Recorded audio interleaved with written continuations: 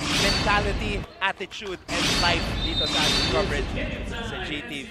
Kaya sinabi ni Coach Mac kanina, ito yung mga nakakatakot kalaban.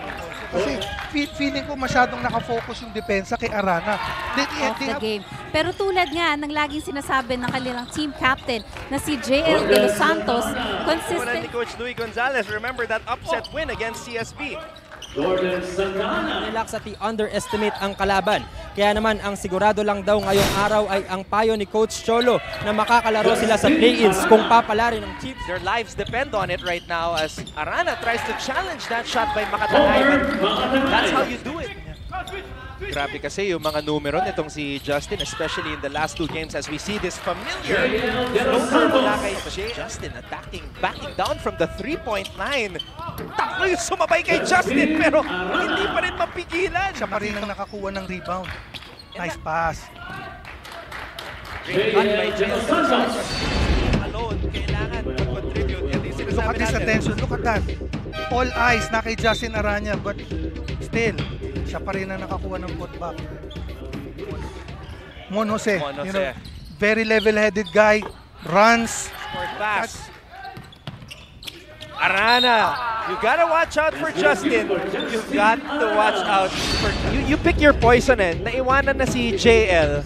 So you're Ryan Arenal. Do you try to defend Oliva or leave a 52.6% free throw shooter? Doromal lays it up and in. Coming out to provide the screen. Doromal off the glass and in. What a shot! Using this screen by Arenal. Pick and roll play does not work. Arana comes up with another rebound. Binigay kay Celis. Celis. Binaba ang bola. Arenal is able to score. Naglalaro lang sila, they're having fun. And look at the passing. Look at the passing. Oh, yun lang. Too loose on that layup was De Los Santos. Pero napaganda pa.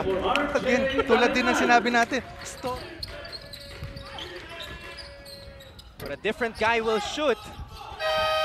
And if you're JRU, you live with that. Anybody 20 to 17 ang ating talaan at the end of the first quarter naman po ang Arellano kontra sa JRU for season 97 of the NCAA. Anton Ross together with three-time champion Mal. In the Chiefs are running. Doromal. What a pass! What a pass! pass. Nakita niya ba yun? Akbong. Kailangan na nilang tumira. Ooh! Yun pa yung nasushoot nila. Yung mga mahihirap.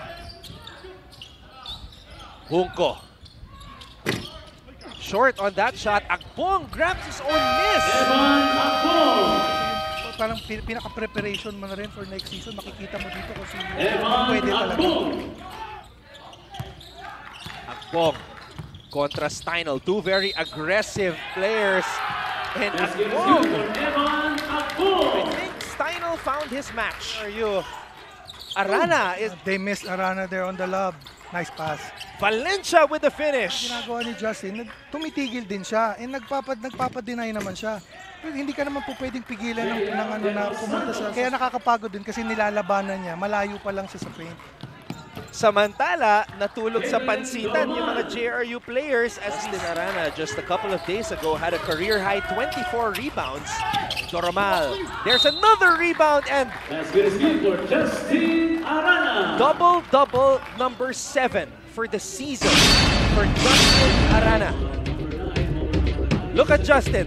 Look at Justin crash the boards. Hunting for the rebound, coach. That's almost from the logo. He might end up with a career high in rebounds. Ooh! Almost.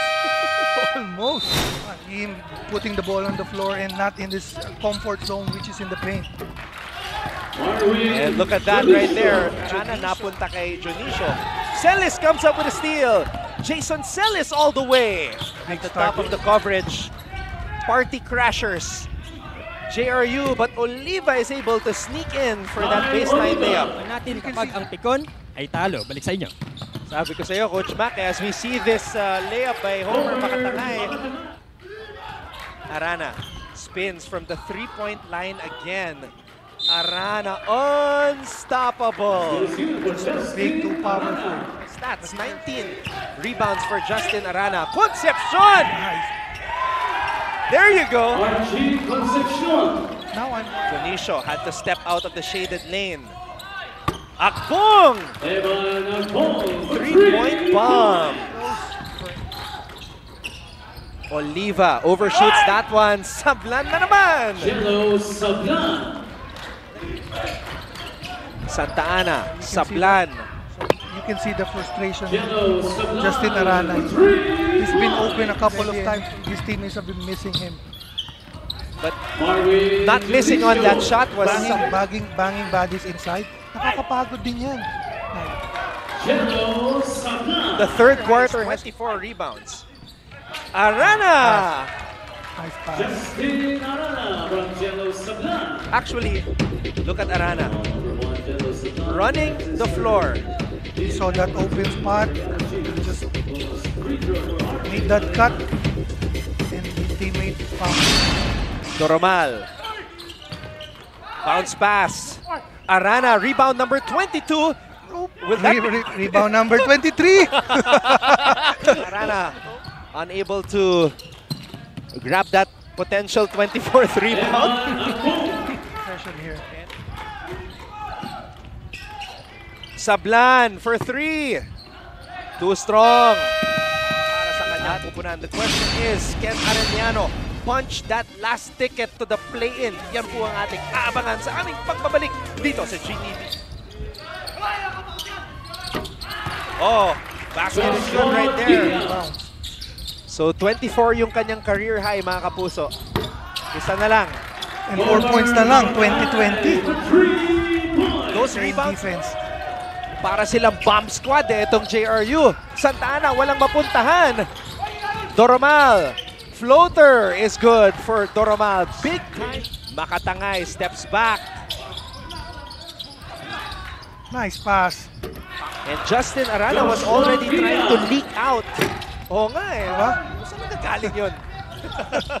Samantala, De Los Santos skies high for this layup. Jill De Los Santos. Meanwhile, gets the ball in the post kontra kay Junco. Arellano loses control of the basketball. Makatangay recovers it. That ball was almost out of bounds and he ties the game. Makatangay. My goodness.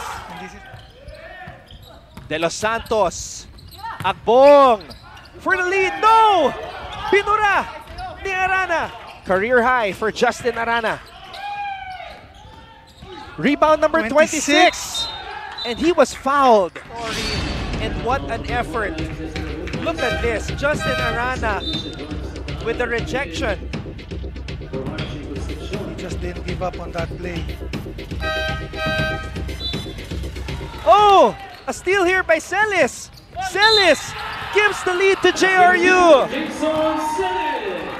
Ball is with RJ Arenal.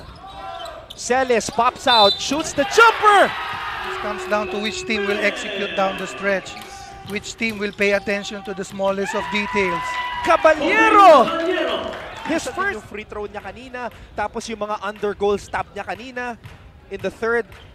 Grabe.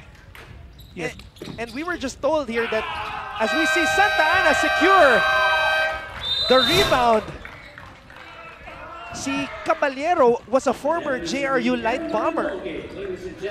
Sending a message to your former team. January heavy number 62 and 6. But this is a this is a well played game, Anton. I really enjoyed this game.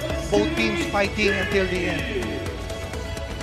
What an ending to our stay here at the St. Benil Gym and what a way to go out.